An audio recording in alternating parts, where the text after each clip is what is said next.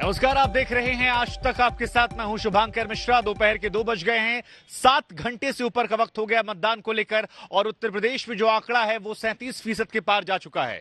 पीलीभीत से लेकर रायबरेली में आंकड़ा चालीस फ़ीसद के पार जा चुका है और फ़िलहाल हम रायबरेली में मौजूद है।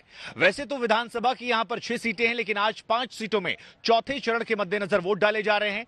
उत्तर प्रदेश की बात की जाए तो नौ जिलों में उनसठ सीटों पर वोट डाले जा रहे हैं और पिछली बार इक्यावन सीटें बीजेपी ने जीती थी लेकिन इस बार मुकाबला जो है वो कड़ा है।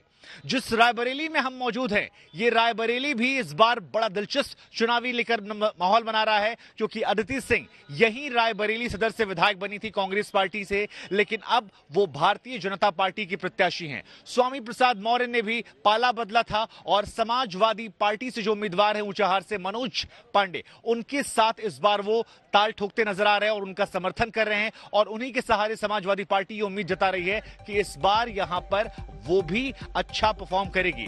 लेकिन सवाल यहाँ पर प्रतिष्ठा का है। प्रतिष्ठा राहुल गांधी, सोनिया गांधी, प्रियंका गांधी को लेकर, क्योंकि अमेठी में जब हार होती है, उसके बाद सारी देश की निगाहें रायबरेली की तरफ़ जाती हैं और पिछली बार चौथे फ़ेज़ की जो ये उनसठ सीटें हैं, इसमें केवल दो सीटें ऐसी थी जो कांग्रेस के पास गई थी और ये दोनों रायबरेली से गई थी। लिहाजा इस बार रायबरेली में सभी की निगाहें टिकी हुई हैं।